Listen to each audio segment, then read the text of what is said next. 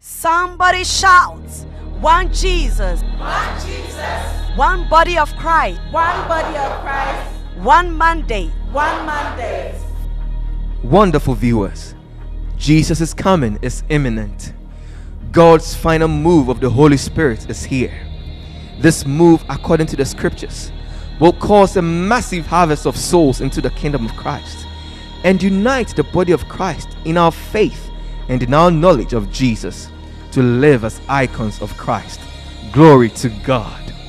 The final global movement brings you teachings that will position you to be an amazing success in life and relevant in God's kingdom as we get set for the rapture. Final global movement. One Jesus, One body of Christ. one mandate. Final global movement.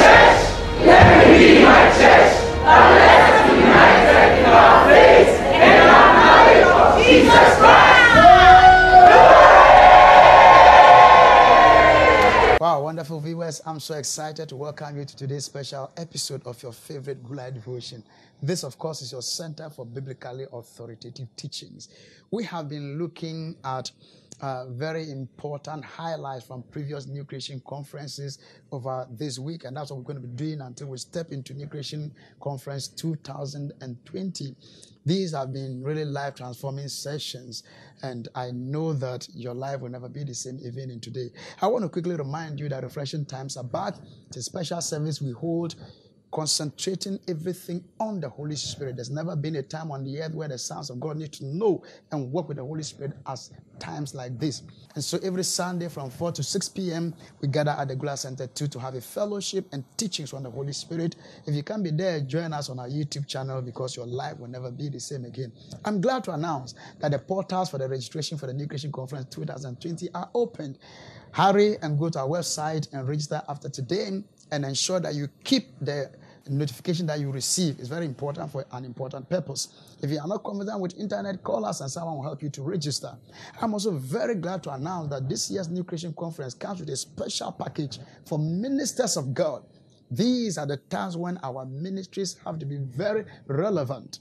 There's a difference between being busy in the kingdom and being relevant in the kingdom. We're going to be having the Relevant Ministry Ministers Conference on the second day of the New Creation Conference. That's the, the morning session. Make sure that you do register. Register for the conference itself and register for the ministers session also. So today, if you are ready, we are going to pray. And from there, we'll go straight into uh, what happened in 2018. Are you ready? Let's share in a word of prayer. Father, in the name of Jesus, our hearts are ready to receive life and spirit into this ministration. And we know that our lives will never be the same again in the name of Jesus. So if you are ready, we are going to go straight into the National Theater and look at what the Holy Ghost taught us in 2008. I'm going to take an excerpt. And after that, I'm going to introduce you my guest for today. I'm going to go into the discussion, and I know your lives will never be the same. Let's watch this. Hallelujah. And to announce the whole world and the church of God through this conference some important facts. And number one of them is that God has an eternal plan for mankind.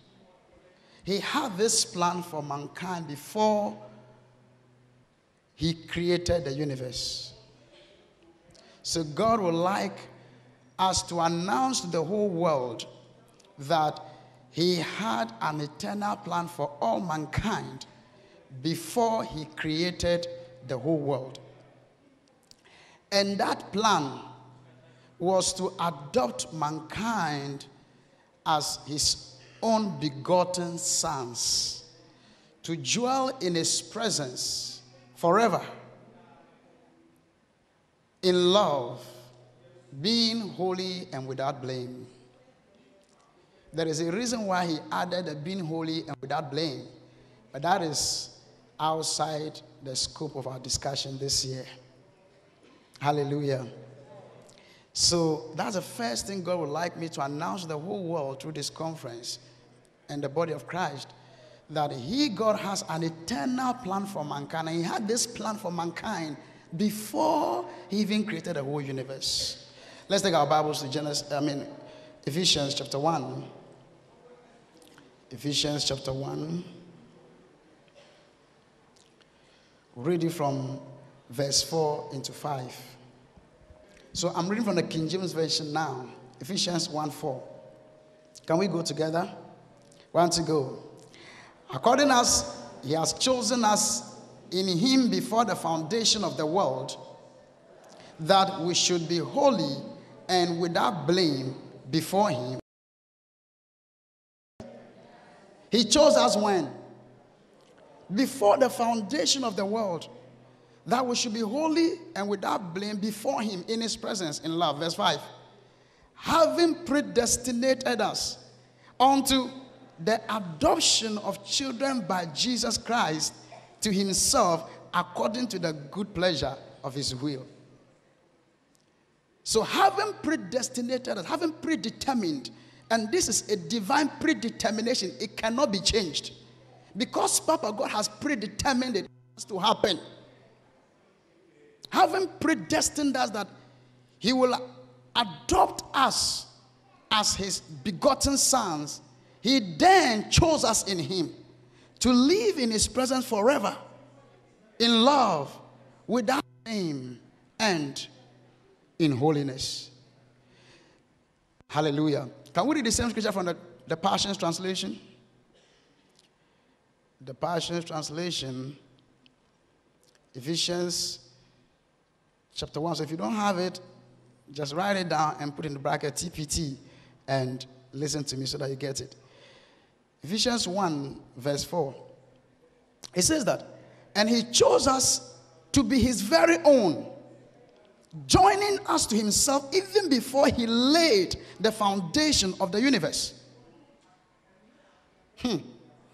Because of his great love, he ordained us so that we should be seen as holy in his eyes with an unstained innocence. Verse 5 For it was always in his perfect plan, his perfect plan to adopt us as his children, his delightful children, through our union with Jesus, the anointed one, so that his tremendous love that cascades over us would glorify his grace. For the same love he has for his beloved one, Jesus, he has for us. Hallelujah. the love of God for mankind is unfathomable. That is why, until you understand God's love, you have not yet become a Christian. Because it is about God and His immeasurable love for mankind. Because of this love, He did this. So He has asked me to announce the whole world through this conference that he had an eternal plan for mankind. And that plan was to adopt us as his own begotten sons. Go to Romans chapter 8, verse 29. In the same Passions translation. So don't move from there if you have it. If you don't, then just write the scripture down and follow me. Romans 8, 29. In the Passions translation, it says that Hallelujah. For he knew all about us before we were born. And he destined us from the beginning to share the likeness of his son. Did you hear that? He destined us from the beginning to share the likeness of his son. Then he said, This means the son is the oldest among the vast family of brothers and sisters who will become like Jesus. the oldest brother among the brothers and sisters. God says to tell the whole world he had a plan. So, all that is happening in the world is an unfolding of this eternal plan of God. Number two, he said to announce the whole world through the church that this eternal plan of his is fulfilled in Jesus Christ. God's eternal plan of adopting mankind as his own begotten sons to live in his presence for eternity in love, being holy and without blame, has been fulfilled in Jesus Christ. That means that the coming of Jesus Christ into this world was not only for the saving us from saving of mankind from sin. Jesus came to accomplish much more than that. The redemption of mankind was a means to an end, it was not the end itself. As we'll soon realize, if Adam had not sinned, there would have been no need for salvation. So the coming of Jesus would have been direct adoption as sons. But because Adam fell, he first had to sort that one out to pave the way that the eternal plan of God will be fulfilled in us. Oh, hallelujah. God's eternal plan has been fulfilled through Jesus. That is why John chapter 3, verse 16 says, For God so loved the world that he sent his only begotten Son, that whosoever believeth in him, number one, should not perish. It didn't stop there but have everlasting life, eternal life. Should not perish means should be saved, should be rescued. That's salvation. But it doesn't end there. But the ultimate goal is not just should not perish, but have, but receive the impartation of God's kind of life in their spirits. And the impartation of the life of God into a man's spirit is what makes him a begotten son of God.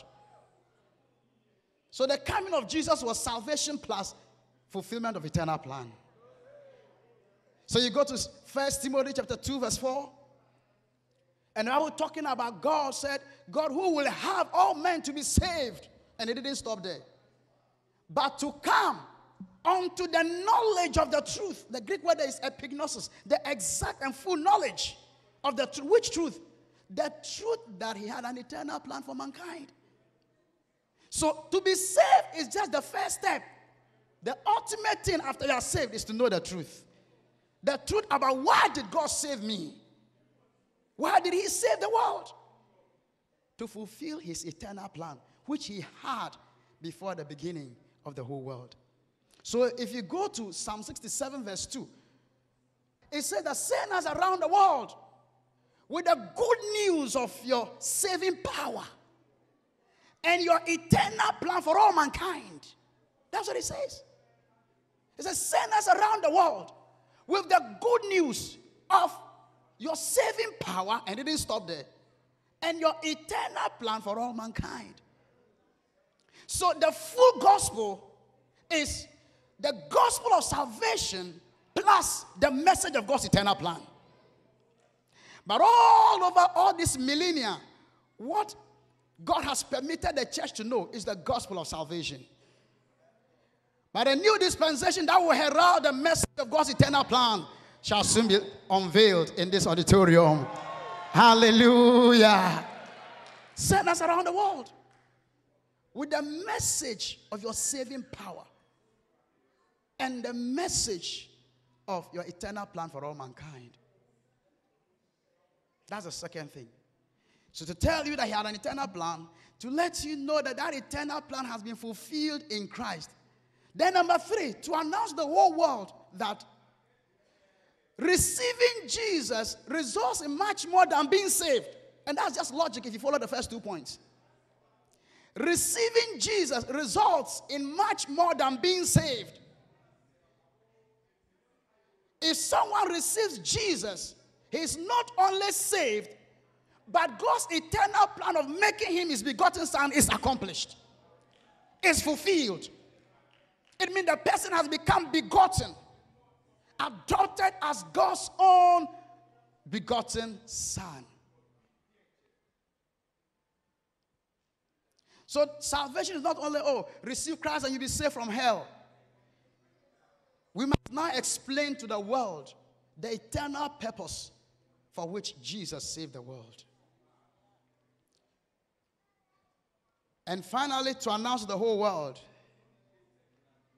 that the day has come and the spiritual climate is set for these begotten sons of God to begin to manifest in the world.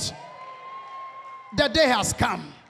Because if I have Christ, then I am saved and I have been adopted as God's begotten son. If I am adopted, I must live as such. I must manifest as a son. And you know what? According to Romans chapter 8, verse 19, the earnest expectation of all creature has been waiting for the manifestation of the sons of God. And tonight, the climate is going to change in the spirit. It's going to change. It's going to change. These are great days to be alive. These are great days to be alive. Have you gotten the message? God has an eternal plan of adopting mankind as his begotten sons. That eternal plan is fulfilled in the coming of Jesus. Receiving Jesus is being saved plus fulfillment of eternal plan. So if the eternal plan is fulfilled, you are God's begotten son, you must then begin to manifest. But the manifestation hadn't happened because the dispensation had not arrived. But once the dispensation is launched tonight, it means we are moving out of this place to perpetually manifest as sons and daughters of the living God. Hallelujah. When we talk about adoption, the Spirit just prompted me to clarify this. I have taught on the Good Life devotion before, if you have followed, but you following. Human adoption is different from divine adoption. In human adoption, a man and his wife goes for a child who is not their biological child and brings the child into their home and legally confess on that child all the rights of their biological son. That's adoption in the human sense. And what it means is that whatever their children could have, this child should have everything. But the thing is, if you do a DNA test of that adopted child and do the DNA test of that person who adopted, they are two different people. But divine adoption, Makobra Dizaha. Hey, yeah, yeah, yeah, yeah. Theology has told us that we were human and we just got adopted. No, divine adoption, He doesn't only bring you, but He imparts His life. So when you do DNA test of me and DNA test of Papa God, you have the same results. So I am like His begotten Son. This was the adoption He was talking about, and I will show you very soon the scriptures. To give us eternal life, to make us His biological sons and daughters. Oh, Masoko Mandarabasa.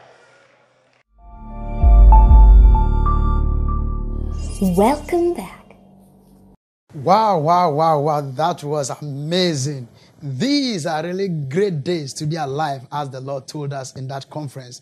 Well, with me today, again, are very uh, distinguished ministers of the gospel. Once again, I have with me today the, the highly esteemed pastor in charge of the Polygonal Main English Church in the person of Reverend Dr. Bismarck Saria. Welcome. Thank you, so Thank you for being here today. Right. Also with us today is the pastor of the Legon New Creatures Fellowship in the person of Pastor Dr. William Christigan. Pastor, welcome. Thank you, sir. Wow. These are great days to be alive. Wow.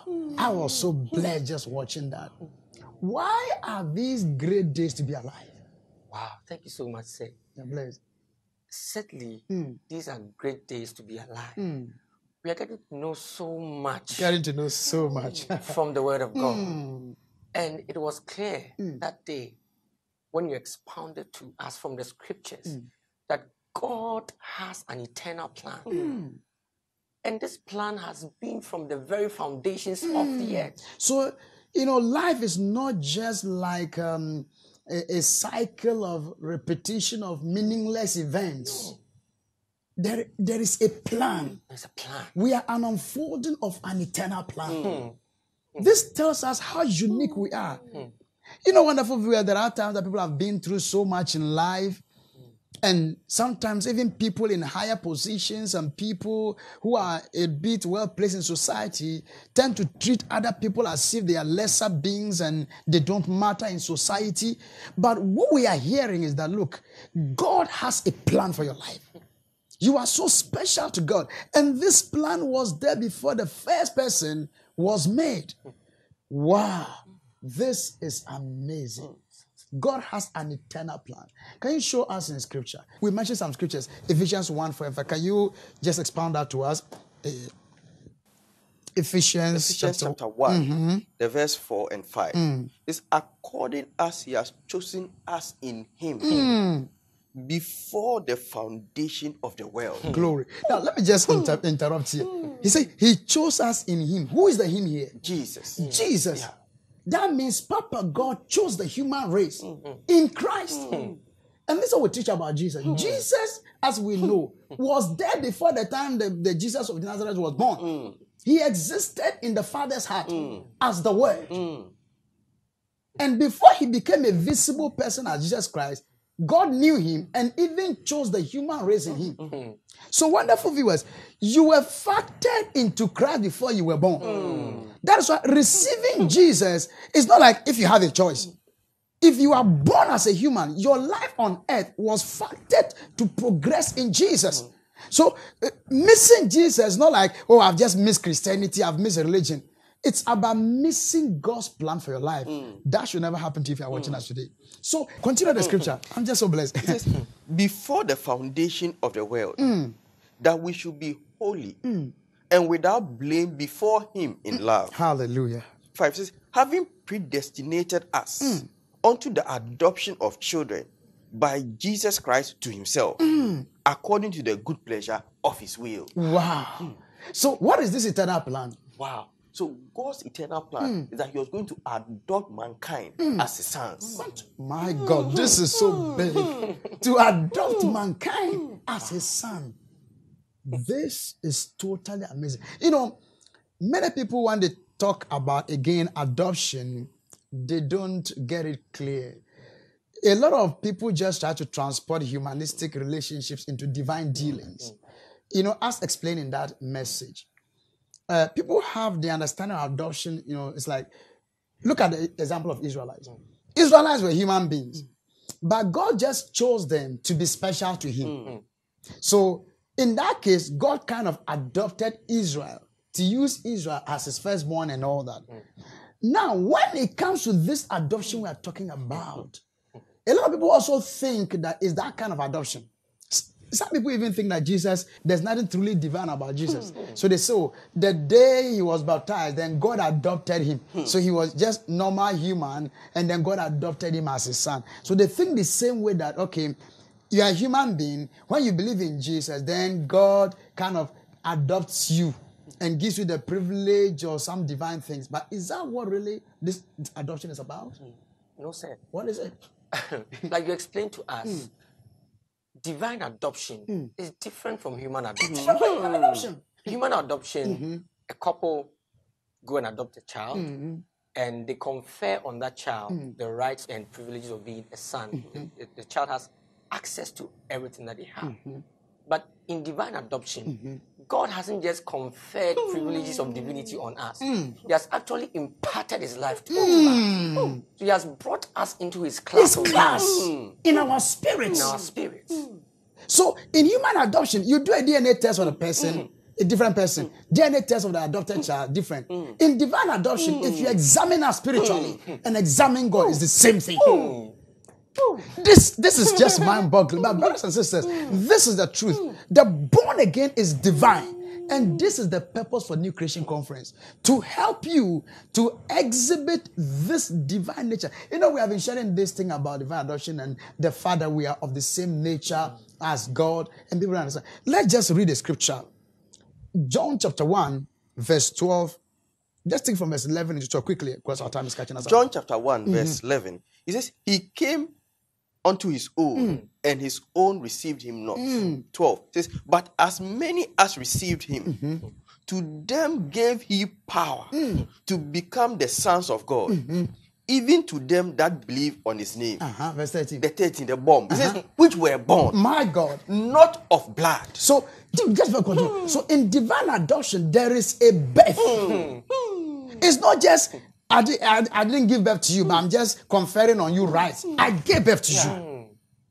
And this birth, it differentiates it from the human birth. Go ahead. Uh-huh. Says, not of blood, nor of the will of the flesh, nor of the will of man, but of God. Hallelujah. Hallelujah. Praise so, God. in divine adoption, we are born. Hallelujah. And we said in that message, so the coming of Jesus was for this adoption. Not just the saving of hmm. mankind. The saving of mankind was something that happened as a means to the end. Hmm. Because by the time Jesus came, he was predestined to come. Yeah. But by the time he came, man had fallen. Hmm. So he had to sort out the issue of fall. That's why he died and saved the world. For many people, they think, oh, Jesus came to save us. He came to save. That's nice. But the ultimate goal is not just to save the world, but to get man to a place where man can believe in him and be adopted. So what does it mean technically today to say somebody has received Jesus? You see, so if you have received Jesus, Hmm. it means that you have been adopted. Hmm. It means you have become a begotten son of God. Hmm. God has given birth to you hmm. in your spirit. The same life God has is hmm. what you have. My God. He said, This is a testimony that we have that God has given us eternal life. And this life is in the Son. He that has the Son has life. Then in verse 13, he says that this I write to you that ye may May know know. that you have eternal life. Glory to God. And then in John chapter 5 and 26, he said that as the Father has life in himself, so has he given to the Son to have life in himself. That means we got Papa God's own kind of life. Wonderful viewer. This is why sickness cannot survive in your body. You cannot be defeated. You are more than a conqueror. We don't say this thing to just get excited. These are facts in the scriptures. We are begotten. If you have received Jesus, you are a bomb. Oh, yeah. But you need to know. That's why you must be at the New Creation Conference. Wow, wow, we have so much to talk about. But time has called us up. Imagine someone is watching us today and he hasn't received this life. Must we leave him alone? No. Give somebody the opportunity to receive Jesus. Wow. Thank you so much, sir. With all that you've heard, receiving Jesus is stepping into God's eternal plan mm. for your life. And that is the adoption, mm. being brought into the class of God, being born by mm-hmm. God. Wow. And it's easy. The Bible says that you have to believe that Jesus is the one through whom you can receive this adoption. Mm-hmm. Is the one that can authorize you to become a child of God. Mm-hmm. Believe that he was raised from the dead and confess him as the Lord of your life. If you want to do this, why don't you say this with me? Say that, dear Jesus, I believe with all my heart that you are the Son of God, raised from the dead. And I confess you today as the Lord of my life. I receive eternal life into my spirit. I declare that I am born again. Hallelujah. Hallelujah. You have done this, you are truly born again. Make sure you get planted in a Bible teaching church and remain in Christ till He comes because He is going to show up very soon, one of these days. Wow, it has been so amazing. I'm sure there's so much more to share, but time will not permit us. Thank you so much, Pastor Gani, for coming. Thank you so we are much, blessed sir. having you. Thank you, uh, Reverend Dr. Bismarck. God bless you so much. Wow, so this is how much time will permit us for today. I don't see why you miss New Creation Conference 2020. You cannot miss it. We are surely going to come your way again on next episode. But till then, life is good. Enjoy. Thank you for joining today's episode of your favorite Good Life devotion with Dr. David Bindan. The Good Life devotion is proudly brought to you by friend and partners of the Final Global Movement. For more information on how to become a partner, call us on 055 792 7744 or log on to our website finalglobalmovement.org. Become a partner today and contribute to the global spread of God's message for the now. Follow us on our various social media handles, and you will be blessed. Don't miss the Good Life devotion on the channels displayed on your screen at the scheduled times. Till we come your way with the next episode of the Good Life devotion with Dr. David Bindan. Life is good. Enjoy.